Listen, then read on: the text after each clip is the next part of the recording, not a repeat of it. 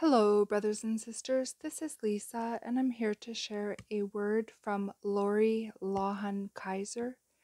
The title is This is an Informational War, and this word was posted November 1st, 2022. I was just given this word from the Holy Spirit while in prayer. I am your God, and you are my children. Many have said, There is no God.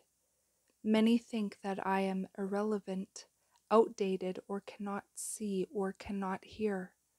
I assure you, I am not blind or deaf. I know what evil the enemy has planned, and I will only allow so much. I know what goes on in the hearts of man, and I know the wickedness that has fallen on the earth. Take heart, my children, all these things must come to pass before I can return. The storm is upon you, but if you make me your anchor, you will survive the storm, although your ship may become torn and tattered. I will anchor you. Hold fast. Behold, I come quickly. I will give you comfort in these end days. I will bring you rest. I will give you peace that passes all understanding. Those who do not know me will not understand this peace I give.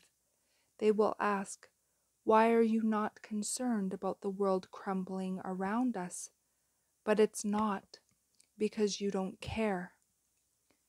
It is my peace in your heart and mind. This peace within you will perplex the enemy. Hold fast to it. All your trust needs to be in me. World War III has begun, although most are not aware of it. It started in Kiev. They do not call it World War III because truth is not in them. Parts of this war will be unconventional and not fought like wars of the past. This is an informational war. This is a technology war. The technology used by the enemy is very distorted and not true. The enemy will have videos and say, You must believe what you have seen. It is all captured on video. But this will also be an illusion of the enemy. Do not believe their words or their proof. Stay quiet and watch their actions and their fruits. The enemy within is great. There will be more tre- treasonous acts come to light. I will bring their evil plans and works to light. They will cower and run in fear. I will cut them off. They run toward the darkness. They desire the darkness but my children must run toward the light.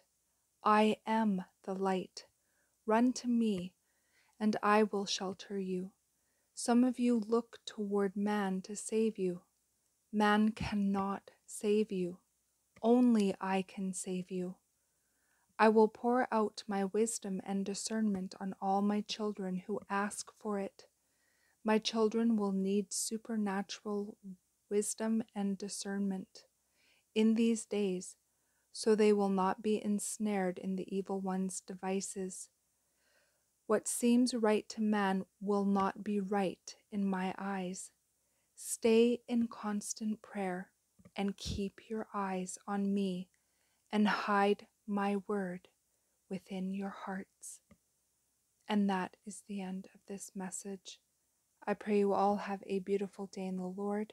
God bless each and every one of you and I will see you either next video or in the air. Bye bye.